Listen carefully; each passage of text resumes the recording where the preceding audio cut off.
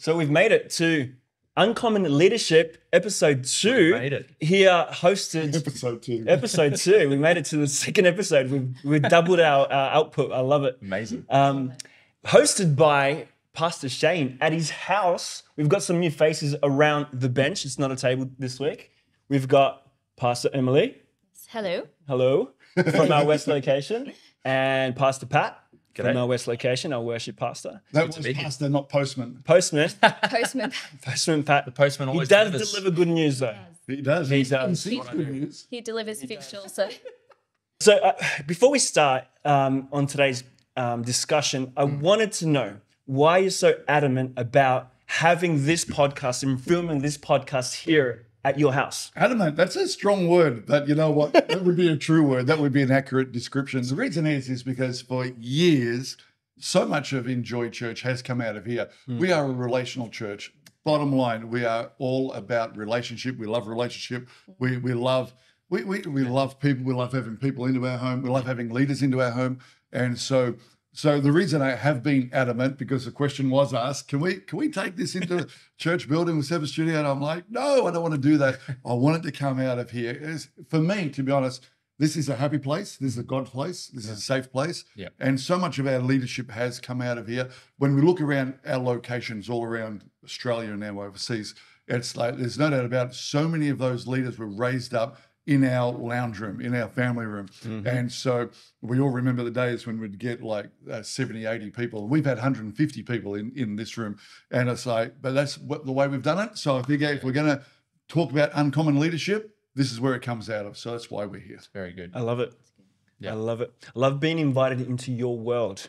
Yeah, you're not you're not holding it back. It's not just church. It's your world, your family. So Yeah, and that's what we're after if- through the podcast, isn't it? Really, we, we're not looking to uh, to do it all clean and neat. We we really want to okay, let's be family. Let's talk heart to heart and see where it goes. Very good. Now, I heard some reviews after the third po- first podcast that this is possibly the world's greatest podcast. Did you hear that? I think I said that. Uh, oh, that was your that was that was your review, which is But can I said it with humility because we're going to be talking about humility. Ah, I like that. So when I said it's the world's greatest, I did say it with Moses did say he's the most humble man on the planet, and he wrote it himself. So I like that. Yeah. Um, so a couple of weeks ago, Yep. there's a post on Instagram. Yep. I like these. You call them "Hey Pastor." Yeah, yeah. and it says on it um, that the two, compan- two companions to accompany me through life, while God's goodness and mercy might be right up there, I think integrity and humility Yep. they trump them. Yep. Tell us more about that. Yeah, on the yeah, that's right. So in regards to Trump, morning Donald, Yeah. moving right along. When it comes to goodness and mercy, David said, "Surely goodness and mercy shall follow me all the days of my life." Mm. He's talking about God's goodness and God's mercy. Mm. When it comes to integrity and humility, that's not coming from God. That's coming from us. You know, and so mm. it- it- it's like uh, we celebrate all the gifts, but the gifts have been given to us by God. When it comes to character, that's our business. That's our work. That's our heart. That's our response. And so I, I pray and I hope, you know, and the reason I do those hey, hey pastor posts and put them out to the world is because I'm not just looking to speak to our pastors, but pastors in general. To be honest, I think in the kingdom of God, mm. there's a there's a lot of fluff out there and a lot of stuff that's put up there as maybe being reached for this, but I'm not necessarily sure that we're all the time reaching for the right stuff, if I can be mm. really honest. Mm. I said we would all pray for goodness and mercy, and we, we should. I get that. But I, Lord, I, I pray and I hope that we, pastors of Enjoy, pastors around the world, would understand that that God is looking to raise up men and women that have integrity, Yeah. that will walk in humility. And so for me, it's like, well, I- I'm not going to be focusing on goodness and mercy. I'm going to be focusing on my integrity and my humility because that, at the end of the day, when I'm focusing on that, I'm focusing on what is right according to Scripture, and it's going to bring about a reward in the end. There's no doubt about that. Mm. Yeah, I love those Hey Pastor posts, and, that, and they're not just for pastors, are they? No, they're not. Yeah. And they're not meant to be. It's like this podcast, it's a leadership podcast. But this leadership podcast isn't just for the pastor, it's for the husband, it's for the mother, it's for the children, it's for the CEO, it's for everybody in our community. Yeah. And I'll open it up. Like, what does um, humility and integrity mean to you guys? Yeah, I mean, integrity, there's so much loaded into that one word, right? But for me, the word that is attached to that is being uncompromised in the way that we live for God. Yeah. Um, and I know uh, as I was sort of really thinking about this word, uh, this little quote by C.S. Lewis came up. It was doing the right thing even when no one's watching. Yeah. And that really just like that sort of stuck with me. Even when no one's watching, whether we are uh, in our business place, in in church, whatever it might be, it's like always doing the right thing. Yeah. Yeah. I would say for me, um, when I think about humility and integrity, I would think about humility in terms of, um, I think, a diminished um, focus on self altogether. That when we come to God, that we come to God with a humble heart, knowing that without Him we have nothing. Um, and so we go to Him, and then He leads us in the path of righteousness. Yeah. And so those paths of righteousness being integrity, and that He leads us in that. and so then when I think about integrity, I think about um, that it's it's about the unseen, it's about the motive, it's about um, our why behind what we do. Yeah, it's great. And I, I agree totally. And this is one of the reasons I think it's the unseen, mm. so it's not celebrated. Yeah. Yeah. And I think there's a real danger in this because you have mm-hmm. people, men and women, men and women of mm. God, men and women in the community, men and women who have lived lives of integrity, but we mm. don't celebrate integrity.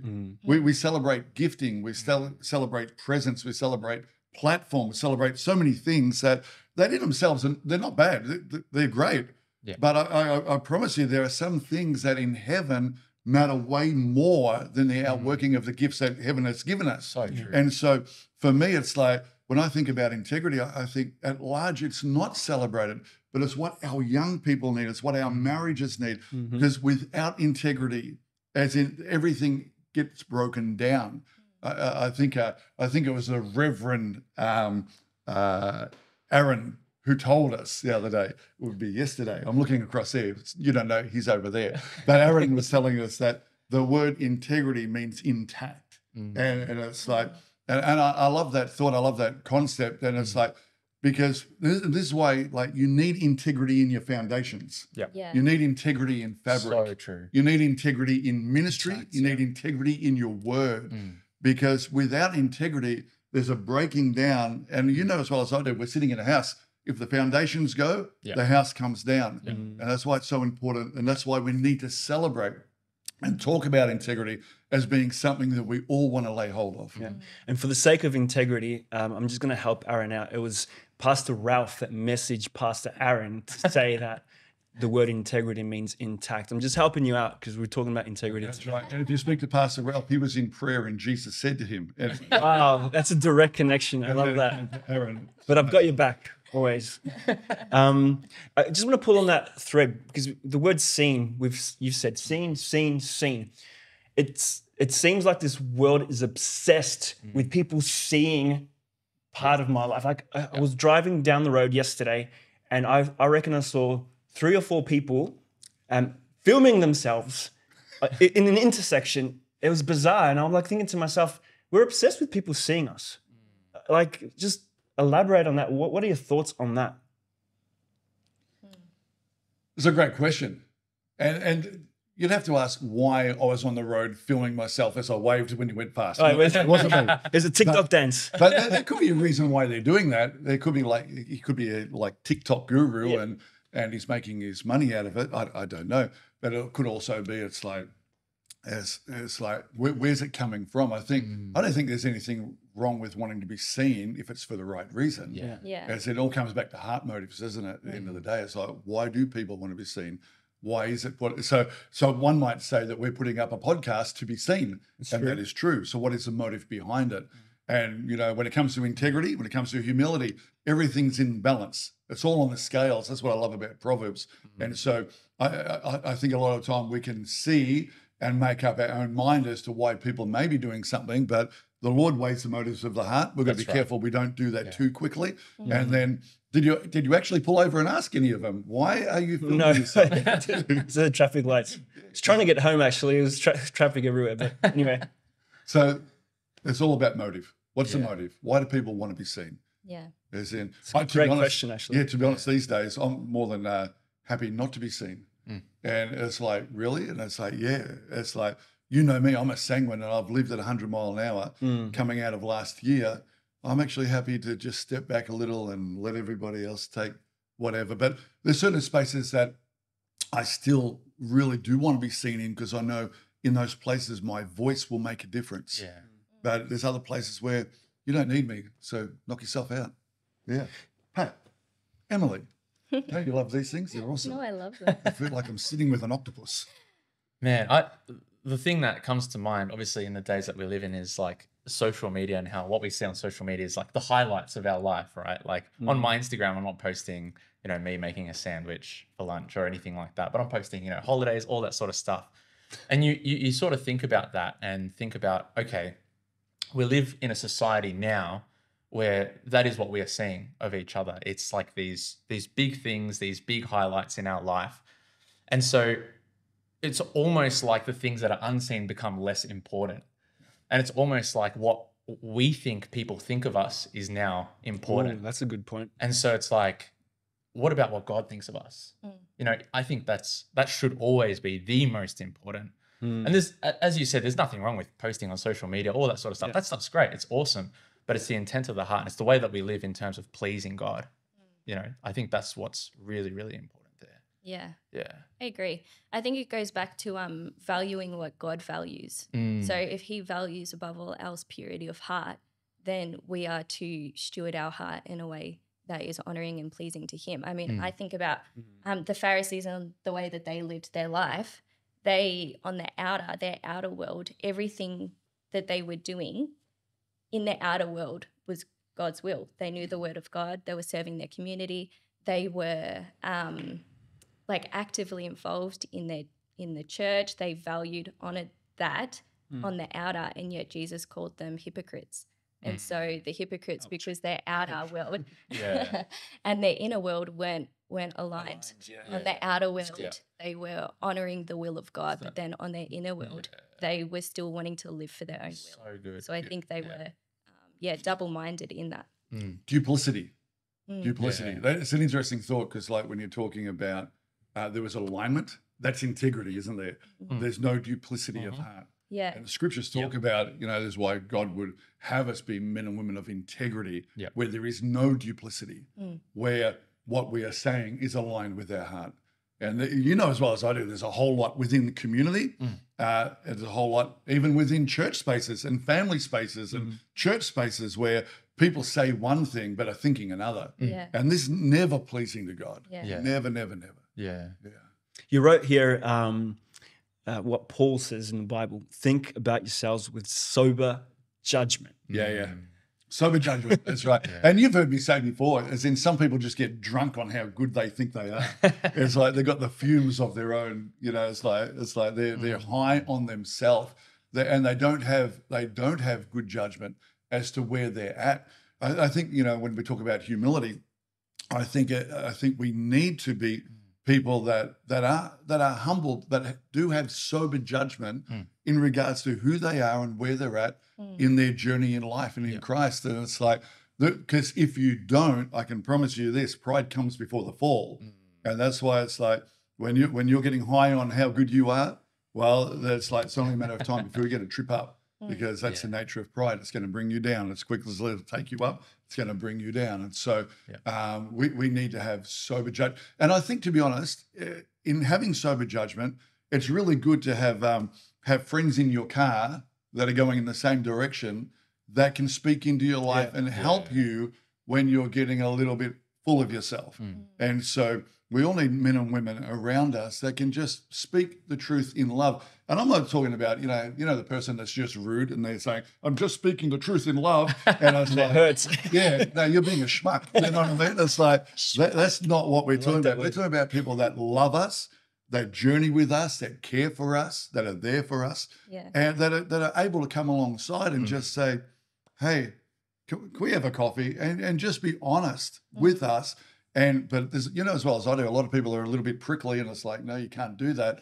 But that's you don't you never want to be there. Yeah. Never want to be there. Yeah, absolutely. And I think that sort of advice has to be from people that you trust as well Yeah. and that lead by Trust, yeah. example in that space. Um, I know for yourself, Pastor Shane, you have so many people in this world that you can lean into and that you trust and actually don't just say it, but actually live that life Yeah. of humility and integrity. Yeah. And I think when your heart is um, to honor God and to keep it pure in His sight, Mm. then it becomes a lot easier than to be accountable, or not easier, simpler, Yeah. I guess, to be accountable because um, you're going to be accountable because you know that's the safest place to be. You want people to speak into your life, you want people to speak into your motive and, Yeah. and the reason why you do things because um, it's it's about keeping it right before God, and so that's it's a safer place Yeah. keeping it under authority because that yeah that's the way that it's going to be um pure Yeah. yeah. So, so in that space, okay. So, I feel like um, we're talking from from a place of having those people in our lives, but the truth is, not everyone has the the people in their lives. How do you cultivate that? How did you cultivate that, Pastor Shane? Having Having people in your life that that you can trust, but they help you not to get too ahead of yourself or think more highly than you ought to. Like, how, how do you cultivate that for someone that doesn't have those type of people in their lives? Yeah. So the first thing is you got to want it. Mm. You, you have to want it. The first thing I did when I landed in western suburbs of Melbourne 25 and a half years ago, I knew nobody, but I reached out to a district leader of the ACC because I wanted people in my life. And so I reached out in that direction. And then th- that, that willingness and desire to have the right people in my life. There are some people you don't want in your life. It just being, as in, I don't, don't know if you're allowed to say it that clearly, but it's like, no, I don't want you in my life. And it's like some people you don't want in your life, but there are people that you that you not only want, you actually need to have them in mm. your life. Mm-hmm. And so it's always been my desire to have people that have gone before me, mm. that care for me, that would look out for me, to have them in a in a position where they are free to speak. And you know, th- this free to speak, there has to be people in our world that we give permission to speak. Now, I know that, okay, so a lot of people would say, yeah, that's my spouse, and that's great. But you've got to go beyond that because your spouse is always going to be your spouse and they will view you in a certain light. So in my case, I, I, I have had people within ACC um, uh, that have been over me as far as regions and districts and et cetera, et cetera. I have people beyond our church that have been spiritual fathers to me, that have authority to speak into my life. I give them permission. I actually speak it out and let them know they can speak into my life whenever they feel they need to or want to. Um, we, we have an advisory team uh, to our vision team. So, uh, vision advisors that, that are outside of our vision team that have permission to speak. The vision team have permission to speak. Our board have permission to speak. And it's like, how many people do you let speak into your life? The, the reality is, very few actually do in the context of bringing any correction. But but if they ever feel they need to, I want them to know they can. Why do I want them to know they can? Because I know they love me. They've been we've been traveling together for years. So I, I would say to everybody, don't go find five cl- five friends and say, hey, no, no, no, no, no. Go on the journey of life Yeah. Yeah. and bring people in. As in, you've heard me say, relationships are spatial, as Yeah, in not just yeah. special, spatial. Yep. So you bring people in and you bring them closer and closer. And over time, your your true friends and and people that God would have around you will prove themselves faithful. Mm. And as they prove themselves faithful, then they have the right to speak. And then so, but I'd encourage you, eh, I'd encourage all of you, I'd encourage every young pastor, I'd encourage every everyone, have people in your life that can be out of a heart of love, speak what they need to speak to you. Yeah, well, you answered my next question was how do you identify that? And Yeah. it's Yeah. not having your heart on your sleeve and just telling everyone everything, Yeah. but go on a journey and, and be patient with it. That's right. And for me, it's taken 25 years of being a senior pastor to get to mm. here, where I have tables of people like this that have proven themselves faithful over years. And and beyond our, our world, I have friends that, that I know love me. And it's like, I, I, I need to hear them when they need to speak. Any thoughts?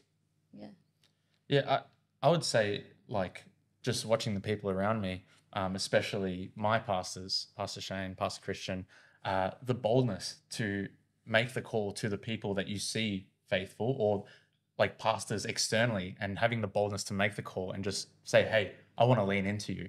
Um, sometimes it can seem like a scary thing, especially if you don't have those people in your world to make the call and to be like, hey, I want to lean in. I want to learn from you. I want to know how you do things.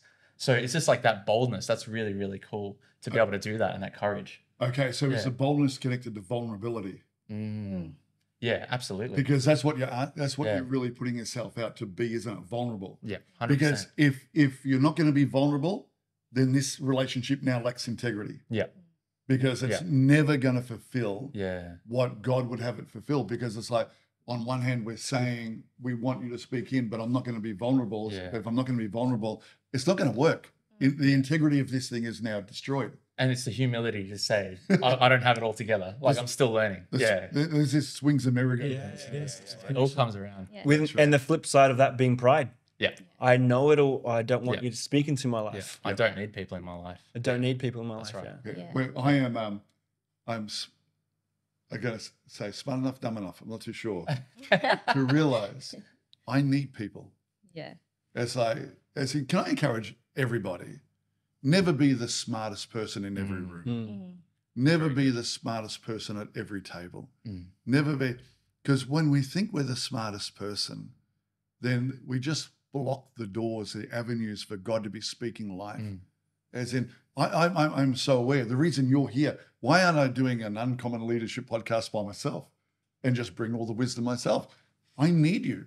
As like, I, I- as in, my relationship with all of you is so precious and pure and godly, and and you feed me like I feed you. Hmm. But and it may be different. We have different roles. True, different roles. Hmm. But we're all brothers and sisters in Christ that can learn from each other. I guess it's that sobering look at yourself with sober judgment, isn't it? That, Yeah. that whole thing of knowing, Yeah. yeah, that that the humility is the knowing I need these people, I need them to speak into my life. And I loved what you were saying, Pastor Shane, about um, like we have to want to be accountable because it just doesn't work if we aren't willing to be transparent, if we aren't willing to be open, if we aren't willing to actually speak about the things we're struggling with or where we've gone wrong or whatever it is. That there has to be um, that true transparency for the purpose of being molded into the likeness of Jesus. Yeah. You know, the word accountability, it's always an interesting one because, you know, I, I've, in all these years, I've had people at different times saying, you need to hold this person accountable, you need to make them accountable. A- It's like they, they don't understand how accountability works.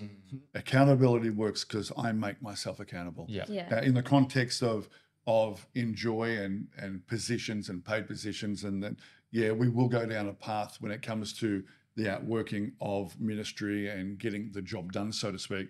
But when it comes to heart, only the individual can make themselves accountable. That's right, their own yeah. That's and right. that's that's why I'm talking about when you're reaching out to someone Mm. who you want to be in a relationship with, you want them to speak in. If we're not vulnerable, yeah. accountability is not. The integrity is broken. It breaks down. Uh, so where does self-awareness come into this? Because obviously we have to be self-aware of where we're at That's in right. order to be able to reach out to people or to know that maybe it's okay for others to speak into us. Yep. So how, how does how do you develop that self-awareness? And that's a great question. So, as some of you are aware, um, uh, 2023 for me was a very, very challenging year. And uh, sitting with Dr. Lecken, who is a psychiatrist, my psychiatrist, Mm. when I'm in his office, and uh, and in, in life, he's like he's just been a brilliant. Yeah. Uh, I would almost describe him as a mind coach. Is is like because like it's interesting is that we'll all go to a personal trainer when we're having physical difficulties and no one thinks anything of it. Yeah. You speak to a counselor, a, a psychologist, psychiatrist, whatever the case may be, and, and there's still a bit of ooh. and um, but I, I've loved talking with him, and what he has said numerous times to me is, Pastor Shane, you are very aware of yourself, and so I think that though comes back to um, with sober judgment Yeah.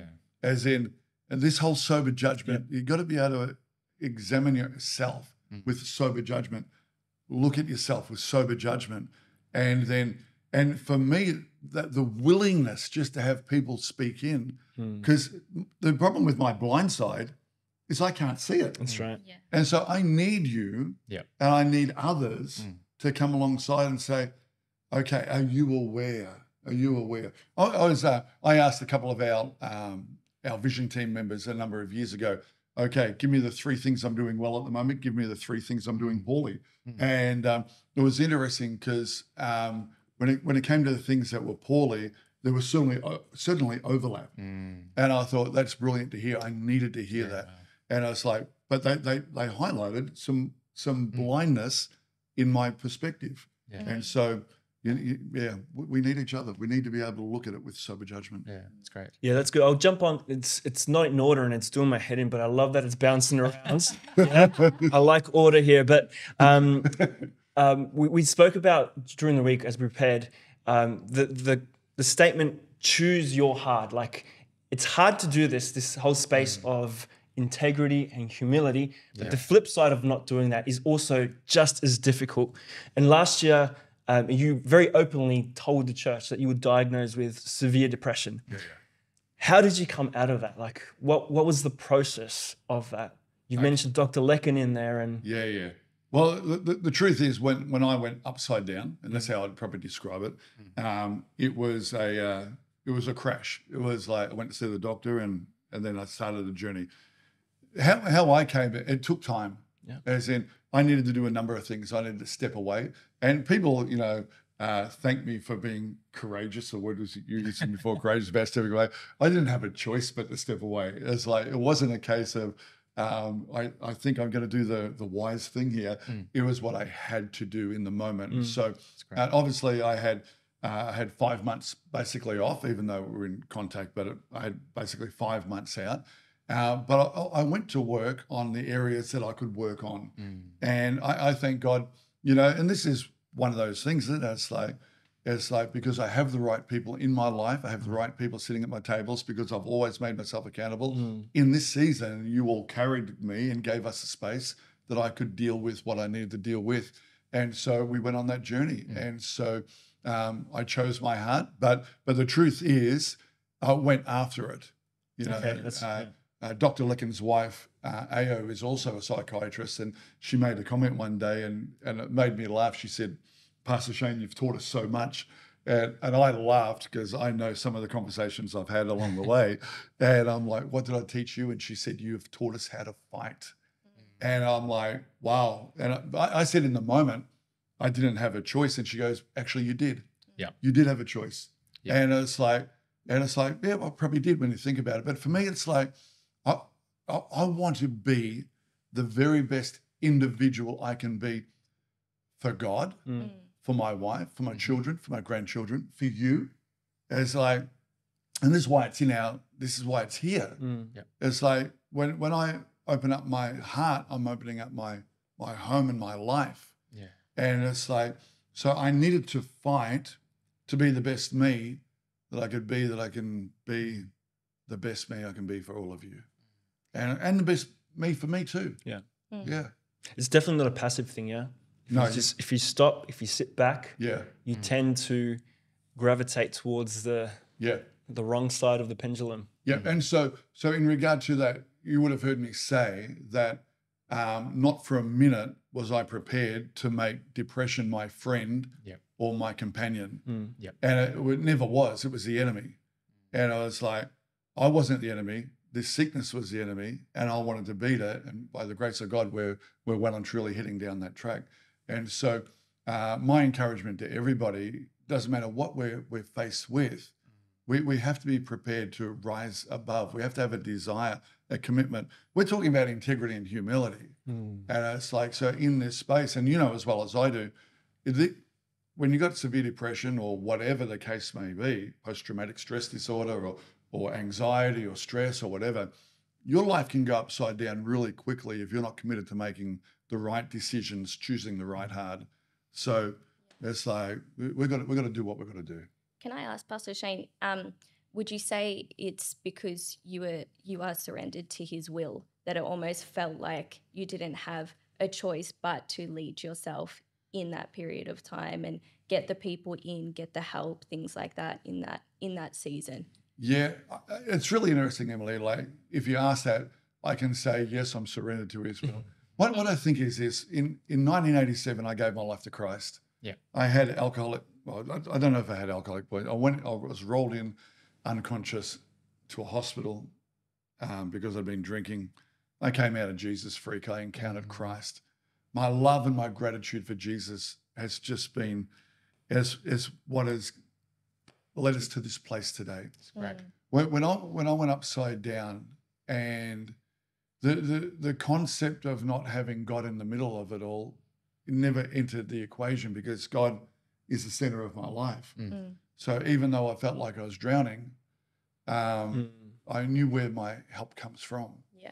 And so there, there was months there where it wasn't pretty and it wasn't pleasant, and I was I was scrapping, as it were, to try and and I was thrashing in the water, trying to keep my head above the water, but but I knew I still knew where my help came from, A- and and because of that, the, the God awareness, I thank God for the God awareness because that then allowed me to continue to walk in integrity Yeah. Mm. And great. continue to um, have a level of humility Mm. that I'd probably never had to experience Mm. before because now Mm. I am I am in complete need of everybody's help.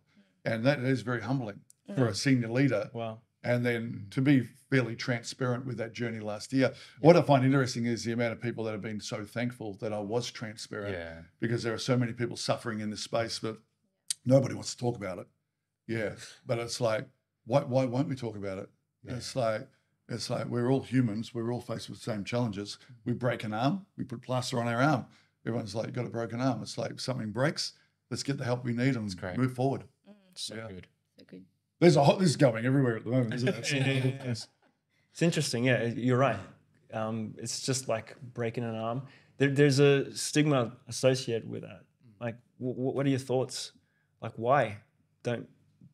If if I've seen people break their arm and post that and be like, "Hey, look at my you know fracture or whatever," and be like, "I'm recovering." Like, why don't we do that?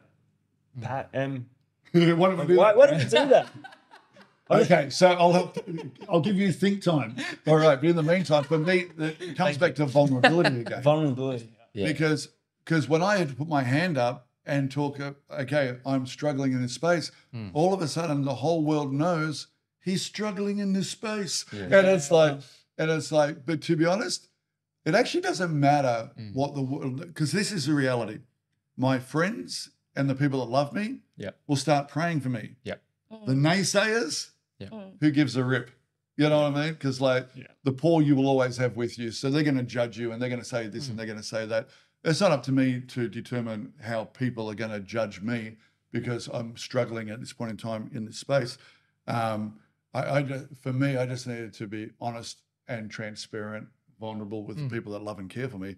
They will pray for me. They will help me, and that's why I'm back here today.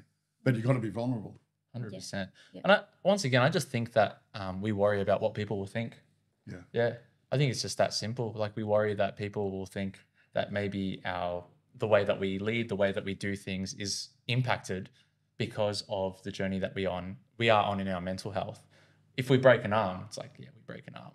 But I think at the end of the day, people can see through transparency if we're being transparent or not. Um, Like often there is this thought process in people that uh, we think that oh they don't worry about it. You know, we we don't have to we don't have to say this or say that. We don't have to be transparent. We don't have to say the whole story. But I think people can see if we're being transparent or not. And I think uh, where it is wise, we need to be transparent, um, and we need to go down that journey. Yeah. I, I would think for someone in my position, the reason people will try and cover up is because there's so many horror stories out there in other churches Yeah. and other workplaces where they haven't been treated well, they haven't been cared for. Yeah. Um, my my story is not that at all. As in, um, you know, it's like my my story is one that I was able to put up my hand and say I'm drowning, Mm. and you all came to my rescue. As in, I thank God for that. It's like, you know, at the end of the day, it's like I, I, I love this space. It's like you you ask about church, yeah, this is the greatest church in the world, and it's, and it's like that's because the greatest relationships I have are here. Yeah. Yeah, It's great. It's I was just going to say, I think sometimes we think that um, like God isn't okay with our human condition, our human weakness, yeah, yeah. That's and true. um, and in reality, he he has chosen to build his church with us, Mm. with our human condition, with our human weakness, knowing um, that we, you know, we are but dust. Yeah, Yeah. Um, I even It's great. this was in relation to something else, but we're going here. Um, the I had a verse in Hebrews four sixteen which says, "Let us approach God's throne of grace with confidence, so that we may receive mercy and find grace in our time of need. Yeah. Yeah. We can't we can't approach his throne with confidence if we think that weakness is sin. Yeah. Weakness isn't sin, weakness is our human condition. Yeah. And we need to approach the Lord knowing our weakness, knowing that in him we find our help. Yeah. But we can't get help from him if we um, don't want to acknowledge that we need Yeah. help. Yeah. Yeah. And that comes down to humility as well. Once does. again, like it just goes full circle, knowing that we don't always have it all together. Okay, so what is the, the correlation, Reverend Pat, between Reverend Pat, I like it. humility and humanity? Because you were talking about our human state. And I agree with you, absolutely. Mm-hmm. God is actually okay with our humanity Yeah. because he, he walked as a human. He knows our frailty, he knows our weaknesses. What mm. is the connection between humility and humanity? well, I, they actually come from the same root word. Get Um, out of here. They do. They absolutely do. It's true. He's an um, engineer. He knows what he's talking about. Well, I'm a pastor. I was an engineer. Oh, But, I uh, And a fisherman. a- and a fisherman. Of men? I love my fishing. A fisher of men He's a and fisher a of fish. fisherman. Fisher of fish. And a fisher of men. I hope. Uh, And a Gemini uh, Is that your star sign? with a, a, a Gemini with a V6. That's What is that? that's- That's Gemini. Yes. I like it. Yeah. yeah, we're talking cars. All the car guys out there. Yeah, you know what we're talking about. Yeah. That's right. My But they, they come from the same tongues. root word. and I think as humanity, we, we need to understand that we are creation and we serve the creator. Okay, tell us about the root word. The root word. Yeah. Uh, the root word is humus. Humus. Humus. Yeah. Hummus. Which Yeah. Not hummus. From soil or from earth. okay, so Yeah. humanity is Rounded. from the ground. Yeah. So humanity is from the ground. Correct. And humility means to be grounded. That's right. That's right. Mm. Good job. Well done. Thank you. Great thought, Pastor Pat. Did you Thank you want for that one, Pastor. Do you want, did you want to extrapolate on that thought? Uh, look, I'm happy to pass it around the table on that one. Yeah, yeah. Is there any further? uh, We, we went through all that um, trouble going through the root word. Is there anything else we want to talk about that? No, I, I just want to bat off uh, what Emily was saying. I absolutely agree with that. The humanity side. And it's like, why, why do we think if we keep it a secret, God doesn't know? Yeah. Why do we think if we keep it a secret, our family doesn't know? And we're talking about anything here. It's like, and so secrets, and this is duplicity, isn't it? Mm. It's like, why, why do we do this? Why do we try to cover up? Let's go back to the garden. Adam and Eve in the Mm. garden, they fall. And what do they do? All of a sudden, they've got to cover up. Yeah. So they're running off in the nutty and they're getting the little the little palm leaves and they're trying to cover up. And it's like, but that's what we do. We cover up. And I think, you know, to be honest, I think I think is one of the great challenges we have in the church when it comes to, and it's a challenge we have as pastors is like all this cover up. And it's like, we don't need to cover up from everybody all the time. And I'm, I'm not saying we need to reveal everything to everyone, Mm. but there needs to be people in our life Mm. that we can be honest with, we can be transparent with, vulnerable with, Mm. and in the knowledge that we are in this together. And it's Yeah. like, for me, the, one of the greatest, one of the greatest things, Christian, when it came, go back to the question, how did I come through what I've come through? Mm. And I don't know that I'm all the way out yet. I reckon I'm way, way, way down that track. They will, they will walk through the valley of the shadow of death. I think I'm almost out. Keep Every now and again, that shadow reaches for my heel Yeah. and I got to kick it off. But I'm here today because I was vulnerable, I was transparent, I owned where I was at. It's great. You got to own where you're at. Yeah. If you don't own where you're at, So how many of you know you'll never arrive where you want to arrive if you don't firstly locate this is where I'm at. Yeah. Sober judgment. This is where I want to go to. So So, I had to own it and then begin to move forward. And so great. but I thank God that I was able to be. Um, I was in a position where I'm surrounded by so many great men and women of God Mm. who do love me, who do care for me, have my best interests at heart. As in It's great. most senior pastors. Okay, so you know I relinquished. Uh, I, I was I, I missed three board meetings. How many board meetings have I missed in my life at 25 years? None. I missed three board meetings. Vision team continued on. You all worked together. As in, I was able to rest in God and get the, the medical help that I needed, work with my family and all of you, and here we are. Thank God. That's great. Yeah. So, since we're going into definitions, root words, and being all theological, um, from a biblical perspective, why are integrity and humility important for all individuals, regardless of what we do? Because I know that we're pastors here and we're talking about a leadership forum, yeah, that goes to uh, enjoy pastors and leaders. But this is relevant for everyone in every space. Yeah. Yeah, I, w- I, I would just say that um, I think it's very important because it talks about an undivided heart toward God. You know, I'm not trying to live my life in my own will as well as the will of the Lord. I need to surrender my will for the sake of living for His will. I need to surrender my life and die to myself for the sake of living for Him and what He wants to do. Um, and yeah, it, it reminds me of that double mindedness that um, in James, where it talks about a double minded man is unstable in all he does.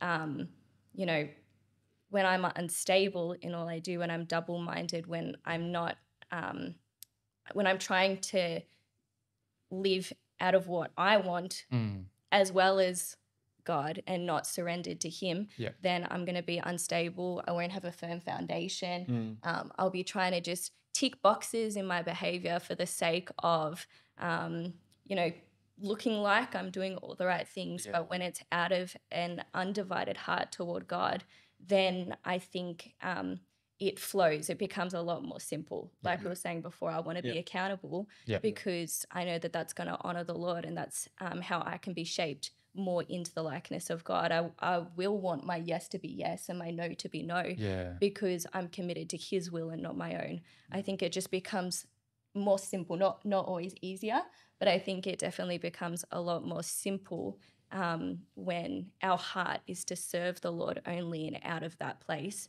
everything else flows because we will be made more into the likeness of God. That's, that's great, Emily. And so th- we get we got to ask, you know, at the end of the day, what are we trying to do here? Yeah, You know, I mean, as pastors, Yeah. what are we actually trying to do here? Mm. As as husbands, as wives, parents, friends, neighbors, what are we trying to do here? And it's like, you know, I think I said it in the last podcast. At the end of the day, when we talk about uncommon leadership, we really want to be like Christ. This is the goal, isn't it? Mm-hmm. We, we need to remember in all of this, we are Christians first. Mm-hmm. We want to live a life that's pleasing to the Lord. If you live a life that pleases the Lord, it actually brings about fruit and reward all by itself yeah, which, which, which personally I, I love. It's like, as in, we, we don't do it for the fruit and the reward, but the reality is, as we serve the Lord with gladness and we serve Him with a whole heart, an undivided heart, it does bring about its own its own re- reward and return. And so, I just want to read a, a couple of verses, if I may, Pastor Christian. Absolutely. Your hair looks fantastic today, by That the is yours. And so, uh, in regard in regard to integrity, let's just uh, flip down to Proverbs chapter eleven, verse three.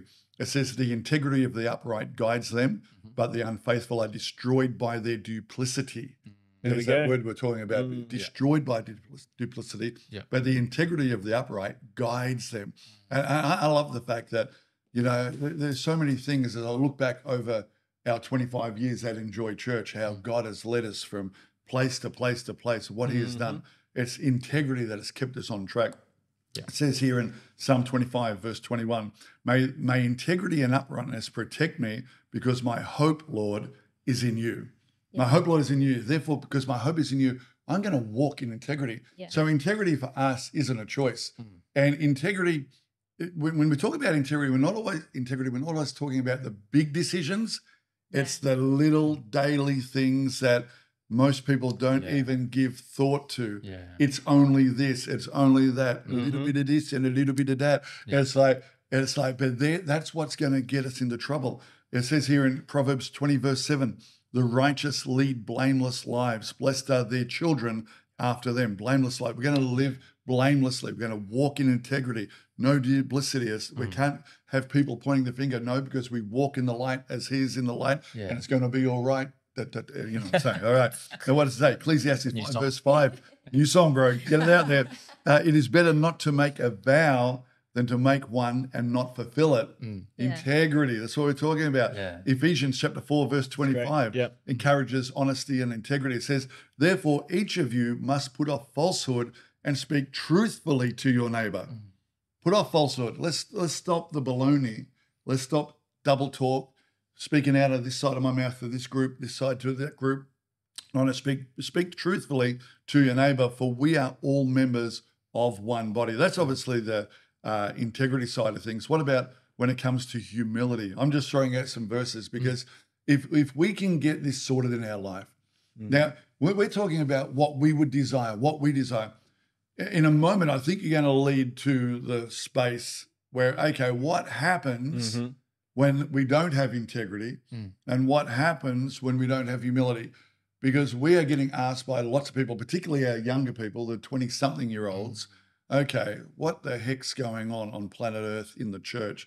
Because we're seeing stuff that just doesn't make any sense. And so, humility hmm.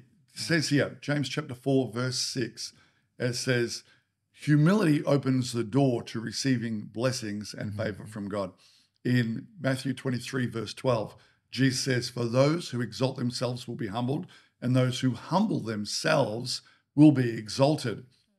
Humility positions us for God to ele- elevate us. Yep. And it's like, it's like, but to humble oneself, you've got to be vulnerable. Don't you? You've got to be prepared to.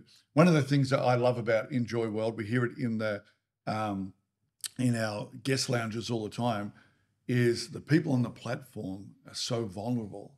And I, I love that. As in, we're just trying to be real and live a life in the light that people can see and realize, okay, you don't actually have to be perfect to live a life in Christ.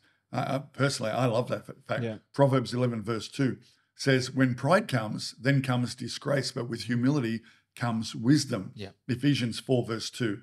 Completely humble, uh, uh, sorry, urges us to be completely humble and gentle, be patient, bearing with one another in love. Humility fosters peace within communities. Yeah. Uh, Philippians chapter 2, verses 5 to 8. It, it encourages here. It just goes on and talks about we should have the same attitude that is in Christ because he humbled himself Yeah. and became obedient even to the point of death. Yeah. The point of death is not good. Okay, so let's just go there. Yeah, let's go there. Because to be humble, you got to die to yourself. Yeah. How many of you have worked out Jesus just wants to kill you? he wants. Better than In the most beautiful way. number. Listen, I must In the most beautiful exchange. Just let it happen. we've got to be careful when we say that. let eh? Uh, both uh, Elijah and Moses, uh, you know, there were some verses last year that became uh, came right home, and they both played prayed, "Lord, kill me now." Yeah. As in, I'm done with this. I can't handle the pressures. But rather than "Lord, kill me now," maybe a better prayer would be, "Lord, help me to die to myself, that I might live for You, that I might actually Yeah. live humbly and with integrity Yeah. before the Lord all the days of my life." Yeah. So off the back of that, a lot of catch ups with young adults and others Yep. asking that question: What is happening What is happening? right now in the world? And part of it is like, oh, I think it's always happened. We've Yeah. got examples all throughout the Bible That's right. to teach us, really. Yeah. Um, there's nothing new under the sun. But reflecting on that, um, what do you think some of the root causes are, the underlying issues that lead to failures in maintaining uh, integrity and humility? Yeah. I think that the heart is always a complicated space for any human. Hey, it's like we we we we're all on a journey to being made into the image of Christ. I, I can understand why our younger people would be like, "What on earth is going on?" To be honest, I think social media has played a very large role Mm. in the concerns that are happening at the moment. And the reason I say that is because you're right. This is not new. It's been happening all through the Bible. It happened.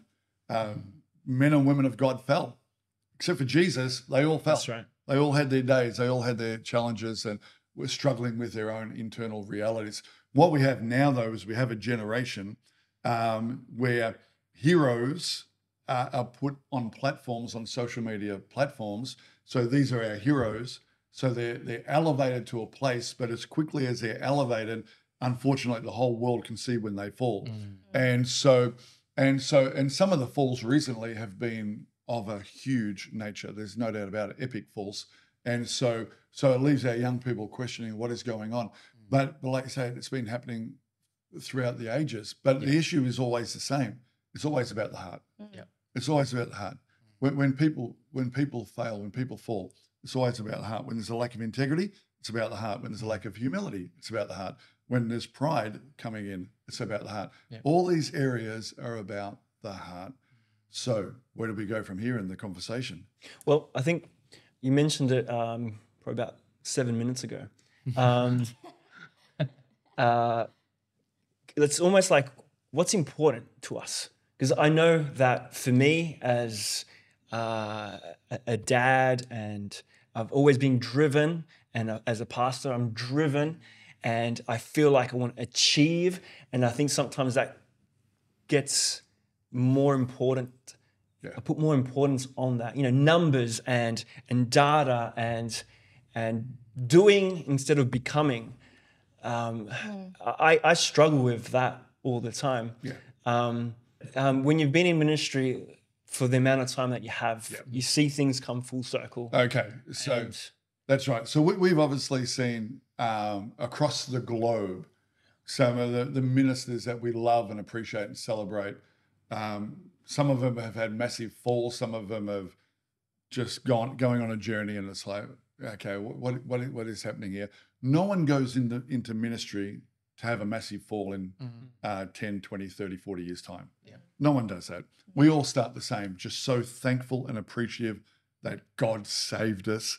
We, as in for my, for me, I never wanted to go in ministry. I just had a, a heart of appreciation for what God had done in me. So I just started serving in the church, and and when I got given opportunity, it was like ah to think that God would allow me to do what this was. God would allow me to do that, and so so we all start we all start in humility. We all start wanting to walk the line of integrity.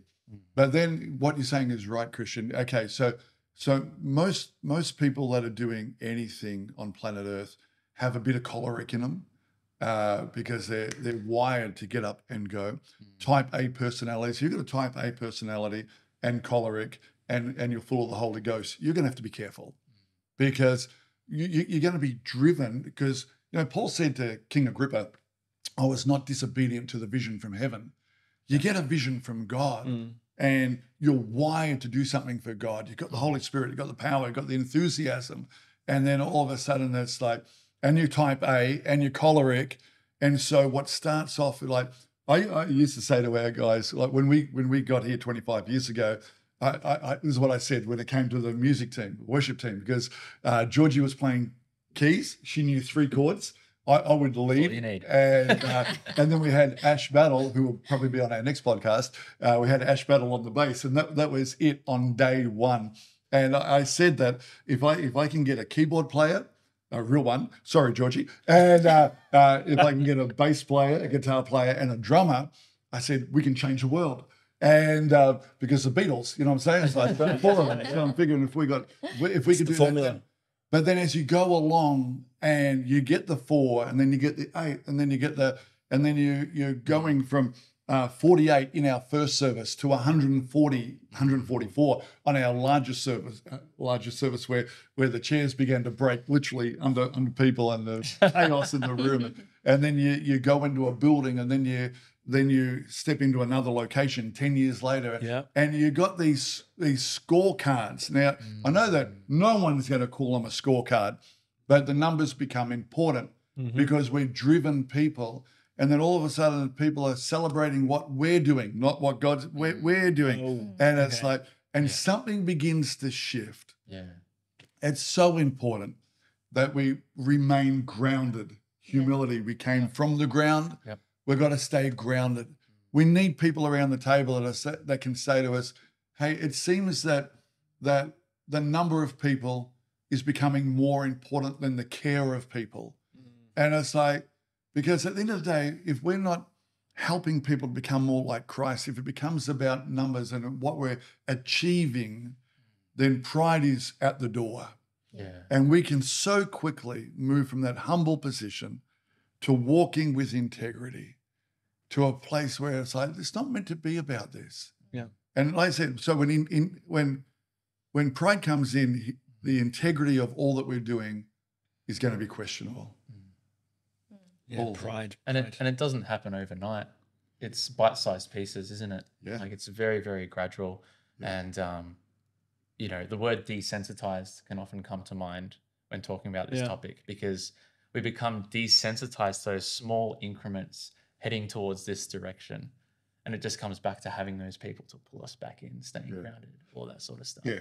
Yeah. Because how great is the fall?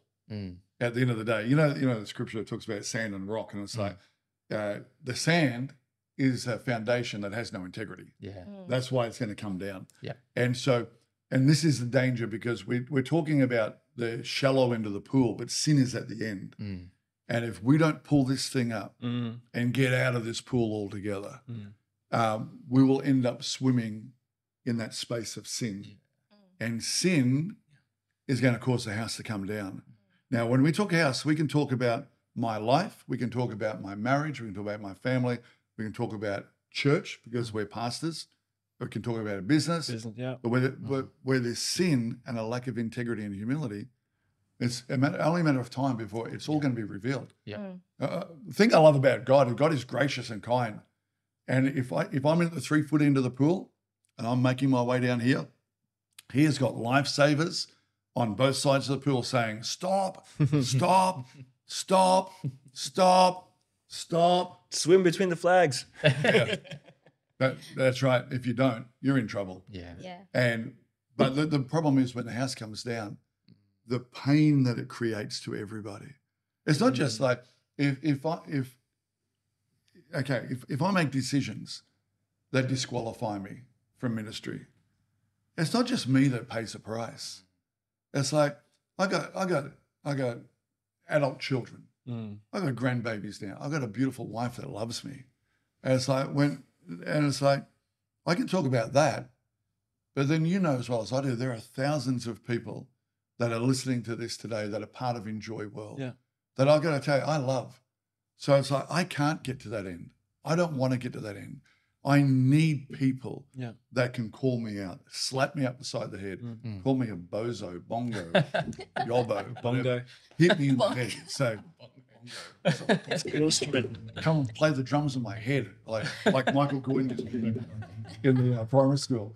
And it's like we, we need people that can say, Shane, you are going down. It's like, but if, if we don't have them in our life, we'll just keep on going. Yeah. And then when the house comes down, it's going to be terrible. Yeah. And I feel like there's a key there. Um, you said when you started, you were thankful that you had a real keyboard player. Now you have at Enjoy Church, there's, there's so many of them. One of them right here, one of the Yeah. best keyboard players I've ever seen personally. Um, Thank you. you're I'll it. welcome. Oh, Be- absolutely. Be humble about Only that. from I- God, though, Pastor yes. Kyle, remember. Yeah. Absolutely. We're going to keep humble. Yeah. There's another one that does pretty well too, eh? Yeah. There's, there's- there's a few of them. He's pretty good. He's pretty good. Absolutely. Actually, there's probably another. Yeah, there's, there's- there's what So, so do you think a key to all of this is Christians like stop it there. um, is to be grateful. Oh, There's, there's this one thing I re- constantly remember. You during during COVID season, you know, we put massive hours into filming and, yeah. and blah blah blah, late nights and bubbles and this and whatever. And you'd call me and say thank you, and I'll c- continually tell you, "What are you thanking me for? Like this is my job." Yeah, yeah. And you would say, "No, you, I've got to thank you." Yeah, mm-hmm. do have to thank you. And gratitude, grat- uh, gratitude pleases the Lord. Mm-hmm. As in, remember the story where Jesus heals 10 lepers, only one comes back. Mm. And it's, it's really interesting, isn't it? Only, only one comes back. You'd think, well, if 10 got healed, why didn't 10 come back? Yeah. And that's the same question. That's humanity right there. But one but one did come come back and he was grateful.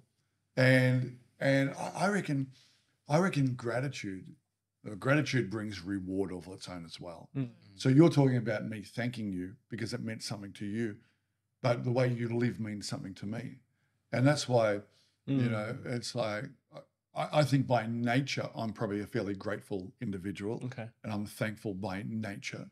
Um, but but that's not enough.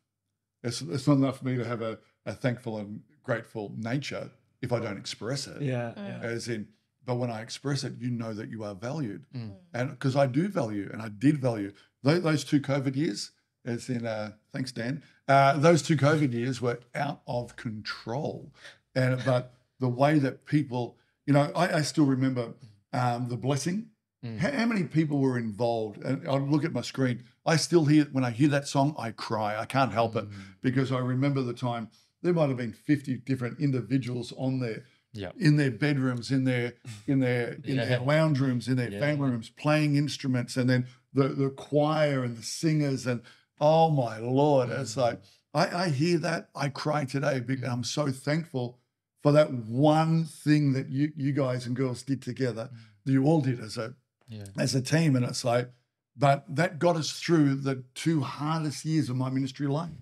And it's like that effort, that energy, that commitment. And so for me not to be thankful, I, I don't know. I can't help but be thankful. I'm just so grateful to be to be able to do life with people like yourselves. Yeah. For me, for me, you know, I, I took some people up to my uh, office. They were Richmond supporters. I met them in the foyer, and I said, "Come and have a look at my office." So because it's covered in all the all the premiership wins uh, from the past, From the past. and um, and uh, we got them up there. And you know, people talk to us about being the senior pastors. To be honest, it's, it's a wonderful privilege, but to be part of the family is better. Mm. You know, I understand that I we we have a role in the church, but to be part of this family, to be surrounded by men and women like Mm. yourselves, forever thankful, forever grateful.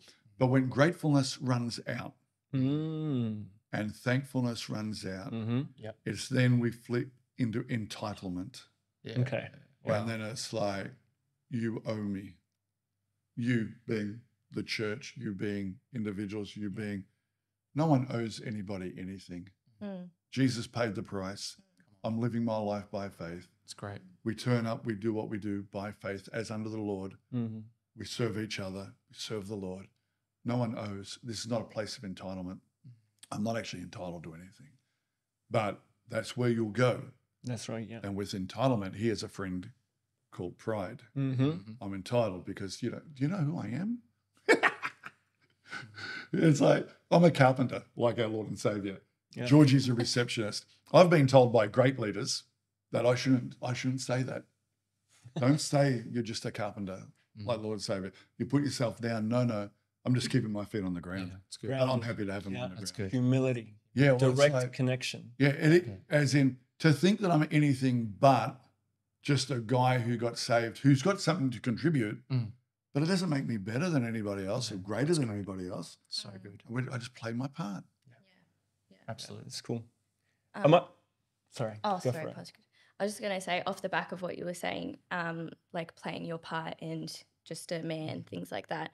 Um, I remember when, very quickly, when I came to enjoy hearing about um, different things that we had in place in terms of our culture when it came to like just going back to a root of where do these things come from.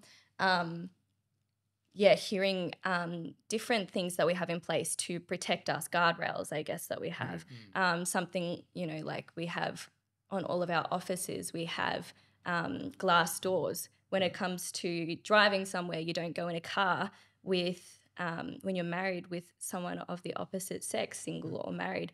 Um, you know, different things like that that we have in place. And I remember hearing about that and thinking, that, oh, what a what a show of humility. Because I don't think, Pastor Shane, that you think your whole team is going to have an affair, but I think it's I hope not. hopefully. Um, but um, it's a Yeah. all it is is just stewarding our humanity Yeah. and stewarding in a, it in a way that That's great. honors God and putting certain things in place to protect us from going over the line. I think it's um, a dangerous spot when we think I would never do that. that would It never won't happen, happen to me. life. Yeah, exactly. It won't happen to That- me. That's when you're most vulnerable. Yeah. start thinking stuff like that. Yeah. Yeah. I, I remember going over the dividing range one time and it had been snowing and there's no guardrails. Mm. There's just the odd post Yeah. yeah. along the road. Yeah. And then you got this massive. Yeah. drop. And it's like, this is insane. And you, you don't feel safe at all Mhm. because, but the guardrail is to Yeah. keep you in a safe space. Yeah. That's what it's for. We the guardrail isn't there to bounce off. Mm. The guardrail is just there to let you know you don't want to go here. Yeah. You don't want to go. Here. I think one of the great challenges with um, some is they want to know how close to the edge of the cliff they can get. Where, you know, where can they put their toes to? I'm like, well, if you know the cliff is here, why don't you stand over there? Mm. Yeah. As in, I don't like heights that much. I'm not, not going to be standing ever out there. But the reality is, in life, we will tend to go to the, as far as we can. Mm.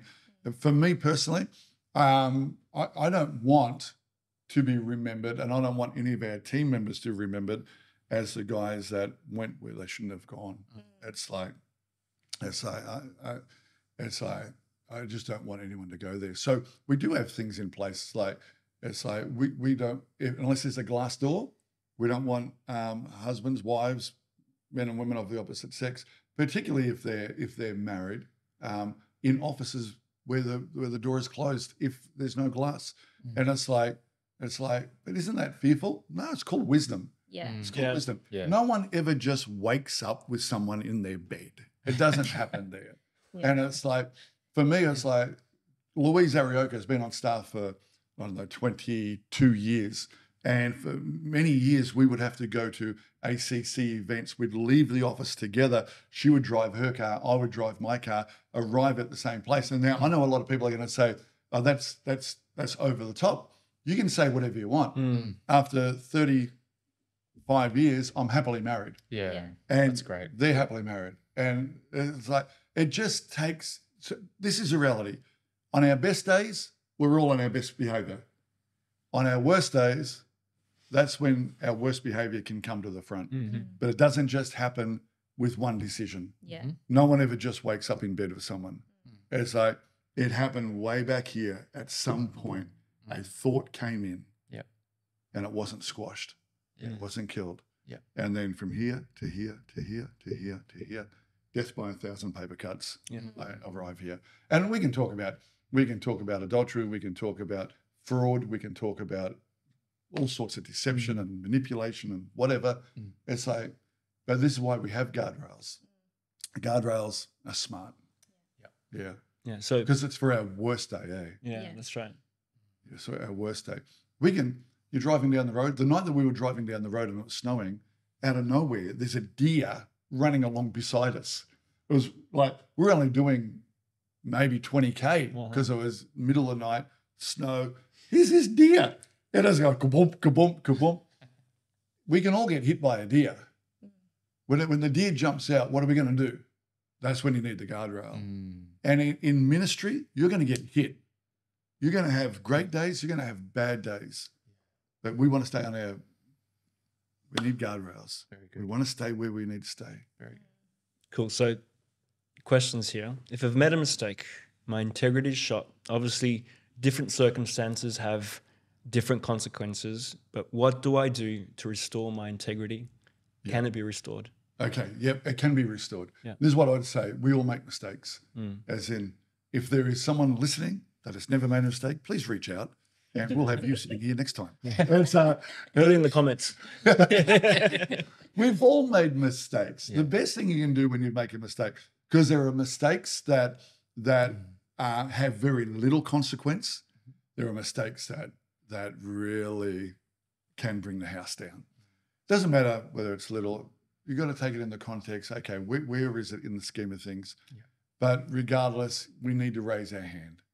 My my my my position on all of this is when I know I've crossed a line, um, you know, and it's, so over the over my marriage times, there's been times where in my head or what I, I've crossed a line. It's like I, I tell my wife, Yeah. and it's like you tell your wife, Um, and I know that some people say, "Why would you do that?"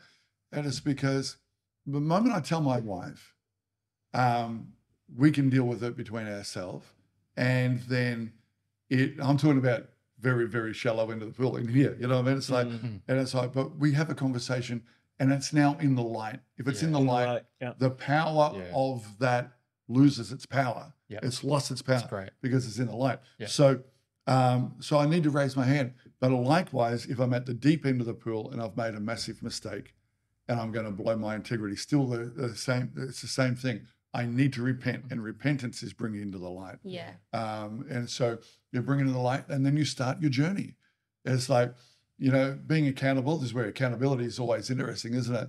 As in, I can raise my hand. We- We've obviously spoken in the office recently about someone in America who who made uh, a massive blunder, who got up in front of the whole world and confessed, and then the the movement that they were a part of said, "Well, this will be the discipline."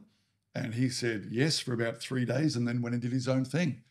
And it's like you're never gonna you're never gonna get back to where God would have you get back to Mm. if you won't own and submit to the authorities that you're under in regards to moments like this. It's like we, we will all make mistakes. It's like may they be small ones, may they be minor ones, maybe may they be ones that don't impact anybody other than our own self and walk with God. And but when we when we do when we make a mistake, we've got to own it. Mm. As in, forget the fluff, forget the excuses, Mm. forget all of that. Yep. Mm. Just own it. It's Mm. very good. I made a mistake. How do I? What do I need to do? very good. Yeah. That's Pas- cool. you were talking about Pastor Shane, the um, how a grateful heart and being thankful, things like that. Um, and then you mentioned about um, because you know what you're saved from, it's Yeah. the blood of Jesus that covers. I think um, in order for us to fully embrace grace, in order for us to be fully thankful, we need to be first fully repentant. Yeah. And um, yeah, fully repenting of what it is. Yeah. And then in that space, knowing that God is good, He's kind, He is forgiving, um, and you can go on that journey. Yeah. Um, So, and this a little bit come, comes back to integrity and humility again, Yeah, doesn't it? it does. Because there, there is no way um, that we can receive the grace of God unless there's true repentance. Mhm. yes. So we all want grace to be shown, but then there has to be true repentance. Part of true repentance is okay, what is the process to be restored? Yeah. Mm, Okay, because that's what we're talking about. It's like, okay, I've lost my integrity, I've shot it to bits, and I lost my reputation. Ha- Can I ever come back? Yeah, but it's going to be a process, Mm. and and that's just the way life is. Yeah. yeah, yeah. And well, we we obviously we pastor a lot of people, and a lot of people come into churches Yeah. uh, and our locations that have been in other churches where pastors have had all sorts of falls, and and so they come in and they come in not trusting us. What do we do with that, Christian? When Well, it's like it's like we didn't do anything wrong, but and we understand why there would be a lack of trust after they've seen a lack of integrity and humility, and now they come here and it's like, are you going to be the same? How do we take people on a journey to Well- healing and wholeness? Well, that's it. It's taking people on a journey and being patient. Um, we don't understand what they've gone through, and we can't think that we understand the implications on their life. yeah, Something that's a big deal for you know Pat might not be a big big deal for me, and vice versa.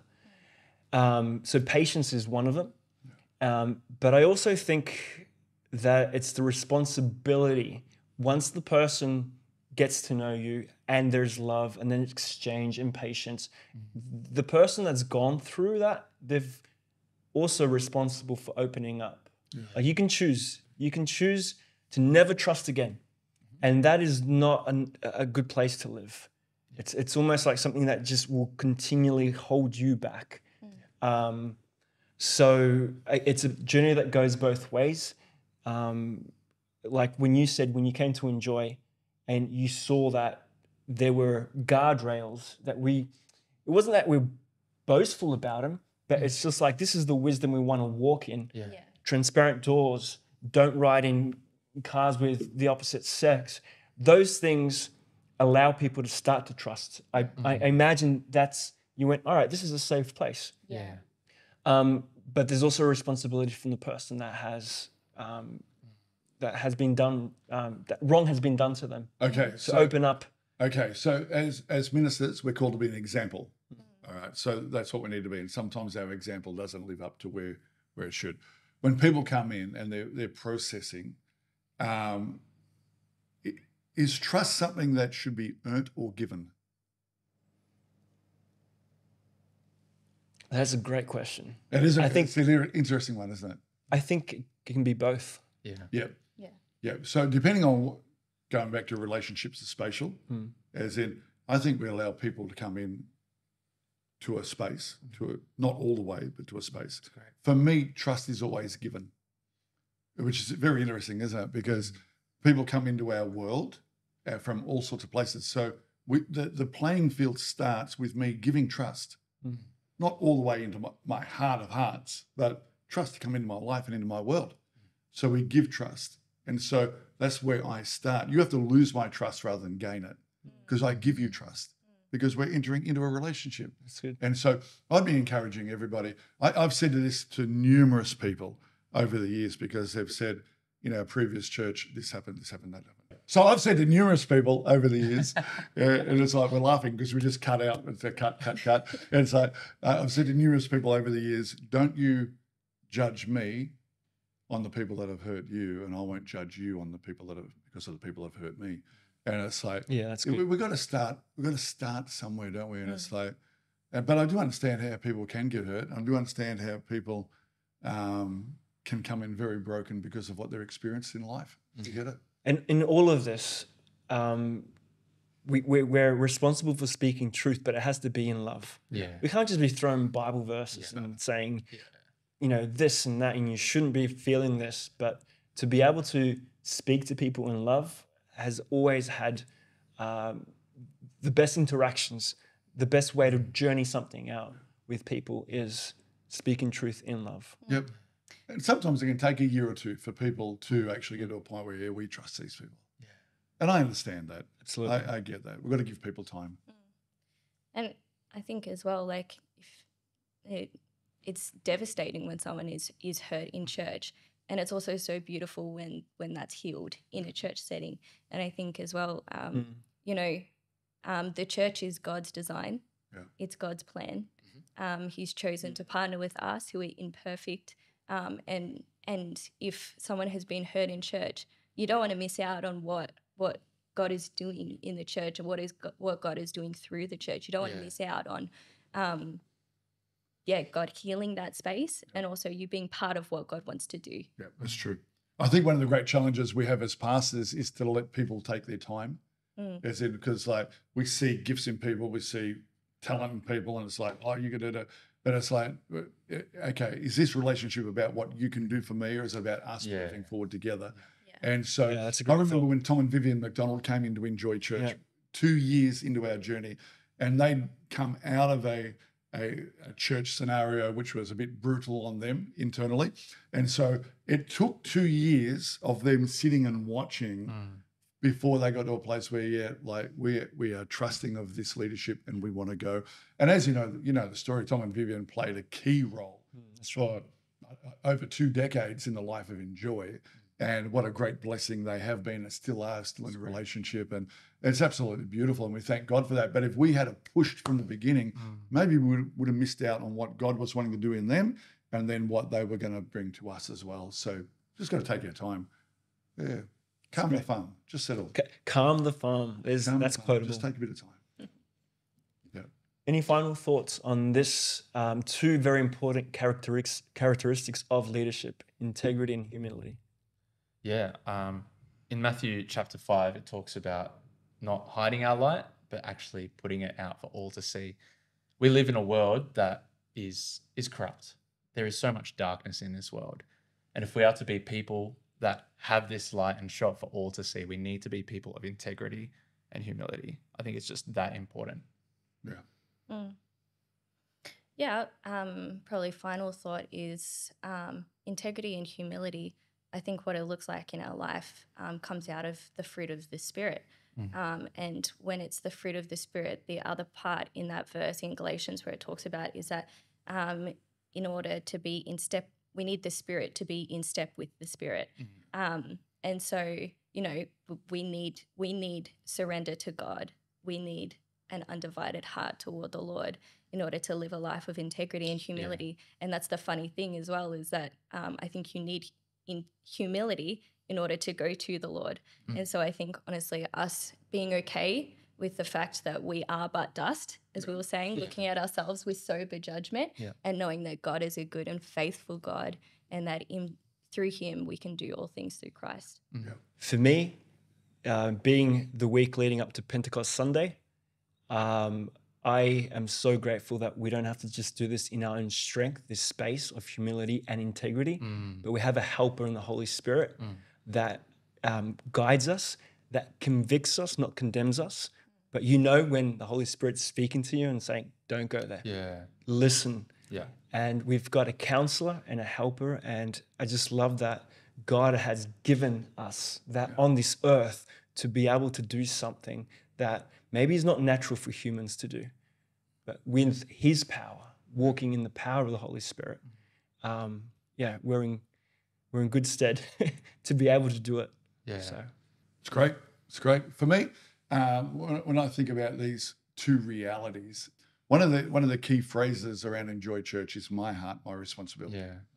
My heart, my responsibility. Before I'm a pastor, before I'm a husband, before father, grandfather, friend, whatever the case may be. I'm actually a, a son of God, Mm. a child of God. I want to live a life that pleases the Lord. I know this. I know this. Integrity will put me in good standing with God. Humility will put me in good standing with God. We, we, if we if we achieve everything that we have on our boards, achieved it all, but don't walk in integrity and don't live in humility, have we really pleased the Lord? Mm.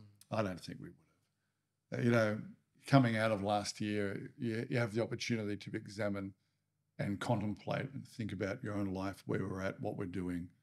And, you know, be, being a, a, a child of God is the pinnacle, isn't it? It's like everything else comes out of that. We, we, we don't live to do that. We live to be in Him Mm. and have Him within. Yeah. And so living with integrity is obviously pleasing the Lord. Living in humility pleases the Lord.